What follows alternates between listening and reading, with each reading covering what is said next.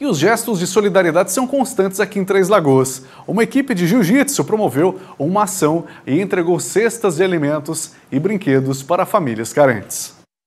Foram mais de 100 cestas natalinas e diversos brinquedos distribuídos, que fizeram a alegria da criançada. A ação solidária partiu de uma equipe de atletas de jiu-jitsu que arrecadou os alimentos e brinquedos. O objetivo era doar para famílias carentes em Três Lagoas.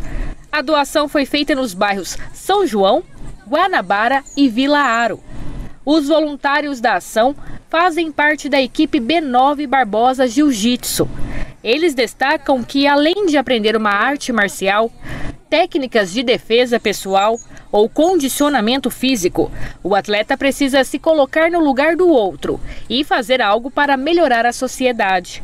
As cestas e brinquedos doados foram comprados pelos alunos e familiares da equipe, que ensina jiu-jitsu há quase 10 anos em Três Lagoas.